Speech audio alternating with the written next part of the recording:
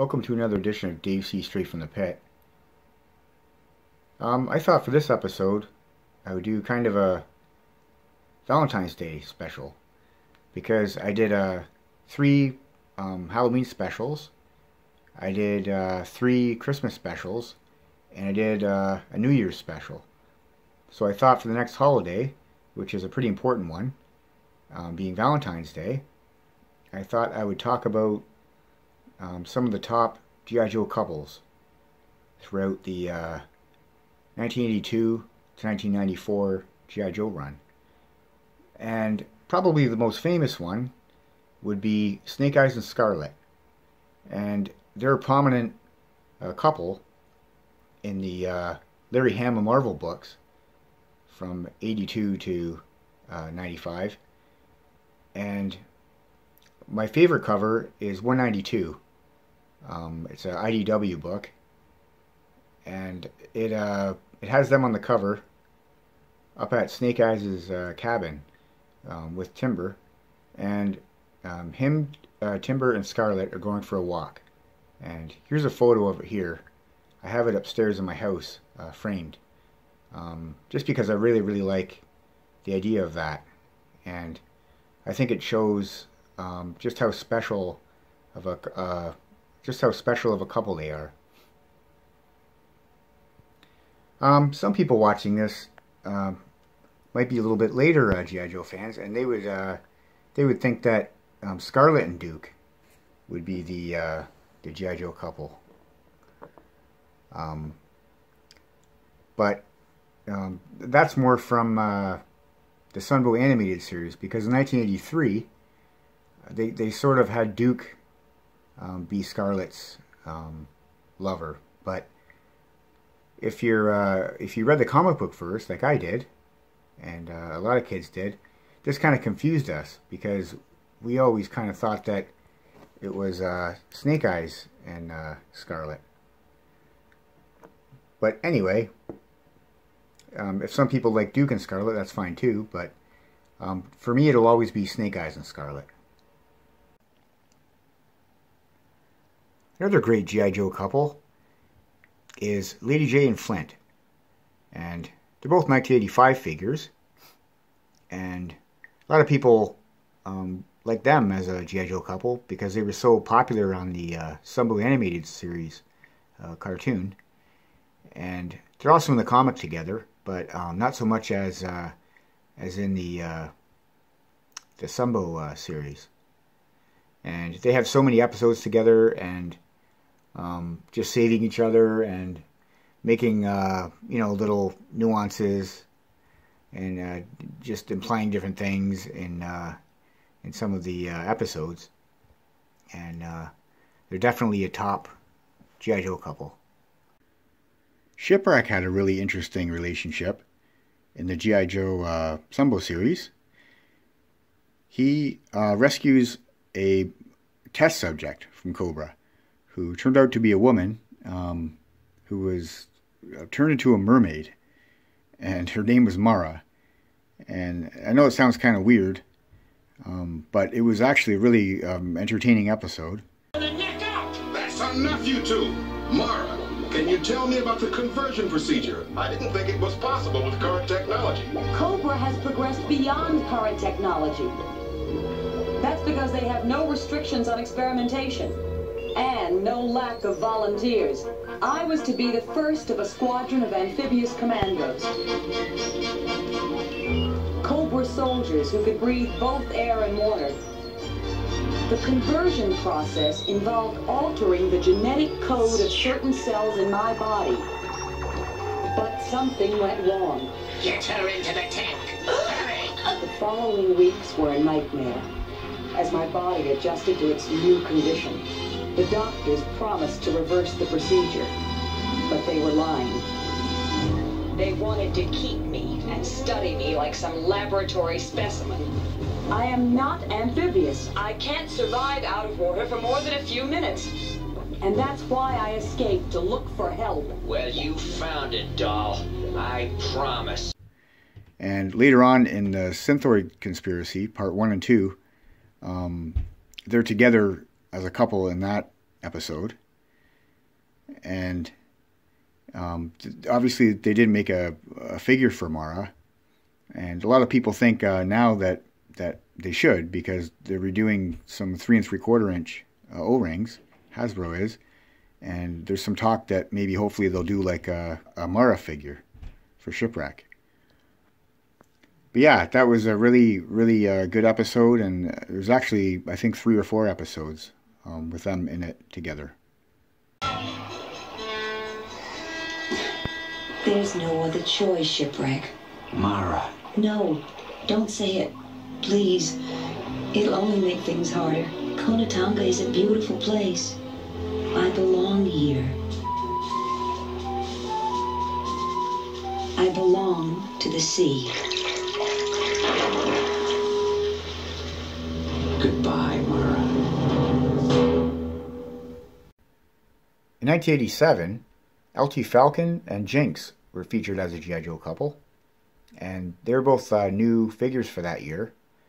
Um, Jinx was uh, like a ninja, and LT Falcon was a Green Beret. And in the uh, comic book, LT Falcon is a real, uh, uh, well, badass, we'll say. Uh, he's actually a, a, really tough guy and um, kind of like Rambo. Like he's just uh, really powerful. Um, Rambo was a Green Beret, of course. But anyway, um, but in the uh, Sunbow animated series, which is how he's known for being with uh, this young lady, uh, Jinx, he's uh, he's a real jerk, like a a chauvinistic, uh, just a a real jerk who uh, um, tries to pick her up and um, because he tries to pick her up, uh, a Cobra prisoner escapes, and um, he just he's just a troublemaker, and he's actually sent to uh, uh, a Sergeant Slaughter's slaughterhouse to get trained um, because he makes so many mistakes. But anyway, at the end of the film, um, they're together, and that's the 1987 movie, of course. It's the last uh, Sunbow um, animated uh, cartoon. And they're together at the end, so they're still a couple. And um, maybe this guy turned out to be not so bad, I'm hoping, for Jinx. I don't know. I mean, if he still acted like he did in, the, in that movie, he's he would uh, definitely be divorced by now because I don't think she put up with uh, with his antics. But anyway, um, they're another GI Joe couple. Another interesting GI Joe couple is 1986 uh, mainframe and Zarana um, fling, we'll call it. Because um, in one of the uh, Sunbow animated series episodes in 1986, called Computer Complications, um, Zarana goes undercover. She's uh, Zartan's sister, if, if uh, some of you guys don't know, but I'm sure most people know that. But anyway, um, she's she's a pretty good uh, disguise artist, like her brother is and uh, she goes undercover to uh, infiltrate the uh, Joe headquarters.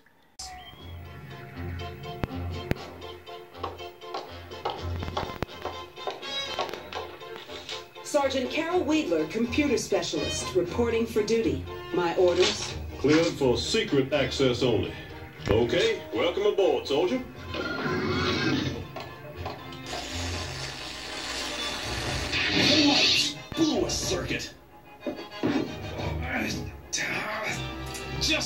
Need. More trouble.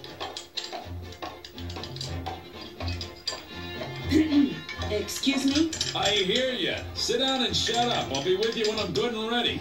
Uh, oh, hi. the uh, handle's mainframe, and you're... Sergeant Carol Wheatler. I'm assigned to aid in the installation of secret computer equipment. And she ends up um, knocking out mainframe and um, getting the information she needs. Thanks, Carol. Built it myself. All we have here is a minor glitch. Put a new board in, our problems are solved. Hmm, just a loose bolt on the chassis here. Ah, just what I needed. There we go. Yeah, that should do it. Small screws loose.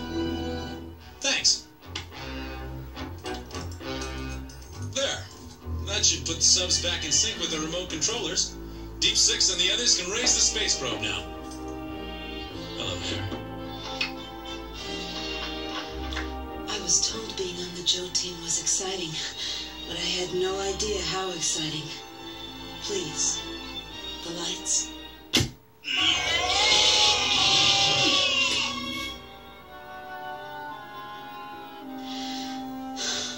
Sorry, mainframe, but duty comes first. Unfortunately. But then uh, it turns out that she uh, she actually kind of uh, fell in love with Mainframe while she was uh, um, doing that, and she goes back to save him.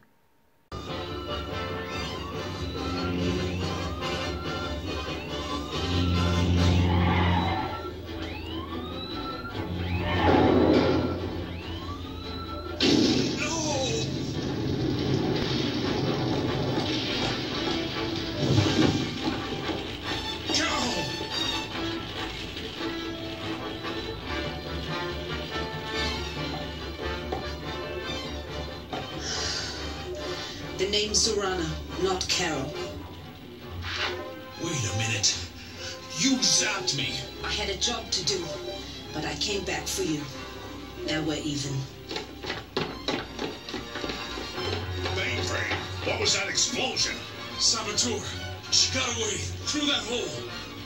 Yo, Joe! Thanks. Again. Completely regain my senses. and um, it's kind of like a, a special kind of uh, little relationship that nobody else knows about on the uh, Joe team, and he's a little bit embarrassed by it, but um, but at the end of the episode is a nice a nice little uh, scene where they're both looking up at the moon.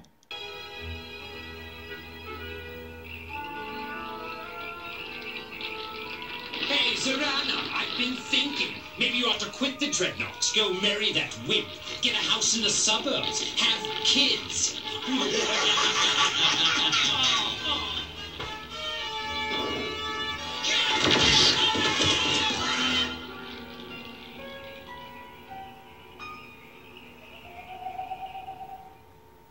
um, at the same time in different locations. They're they're not together, but they're thinking of each other, and that's really romantic and uh, just a really really uh, special episode. And I'll never forget that one because it uh, it just showed how great the uh, writing was in the 1980s for GI Joe. It wasn't just about um, battles and, and weapons and stuff. They, they also had a lot of uh, great plots and um, computer complications was um, definitely definitely one of them. Another memorable uh, female GI Joe character was CoverGirl, and she was the driver of the Wolverine. And here she is here in the Wolverine. And yeah, she was um, just a really interesting character because she wasn't um, really paired up with anybody um, in the GI Joe world. So I like this because it kind of adds to the uh, diversity of the the Joe team. Um, kind of like they didn't have to pigeonhole every female having to be um, with a guy. So um, it, to me, it just adds to the diversity of GI Joe because GI Joe in 1982 um, really, really represented, um, you know, females, um, people of color, different races, um, all um, coexisting together, and it, it kind of came in a time when a lot of the toys weren't like that. So I thought um, that was really, really cool, and you know, looking at it in hindsight now, it's it's uh, just an extraordinary thing. And as all the years went by, every year it seemed like um, there were uh, more more characters of color, or more females, or more uh, representation. So um, even as early as 1983, with CoverGirl here, they they didn't have to have her uh, with a guy, and it, it, showed that she was a uh, an independent uh, female, which yeah is just really cool. And the last GI Joe couple we're going to feature on this episode is Destro and the Baroness. And out of all the Cobra guys and girls, um, these two are definitely the most famous um, couple. And they go back a long ways, and um, they dated when they were really young, and um, they just have a really good backstory. And uh, yeah, I, I really like them, and Baroness is my favorite Cobra figure, uh, 1984 Baroness and they just look great together. Um, there's the 83 Destro. Um, but there's a lot to say about them, and, and I could really get into the backstory about them, but I'm not going to do that today. I've, I've uh, talked about that in, in some other episodes. Um, I guess the only other thing I want to mention about um, them is that uh, there was an episode, a Sunbow animated series cartoon episode, where the Joes somehow go to another dimension, and in that dimension, Cobra has already taken over the world. And um, it turned out in that uh, episode, it's a two-parter, um, that the Baroness, she was actually a double agent and a spy, and she was in love with this guy, Steeler. So um, that was a bit of a twist. And it was written really well. And I'm sure a lot of uh, you guys remember that, that episode. I think it was called Worlds Without Ends, or Worlds Without End. And there's part one and part two. But yeah, um, the the Baroness actually stays with Steeler in that um, in that episode and doesn't go back with Destro. But but that's kind of a, a little side story. And, um, I mean, everybody knows that these two are together. Hope you enjoyed this episode of Dave C. Straight from the Pit. Um, have a great Valentine's, everybody. See you next time.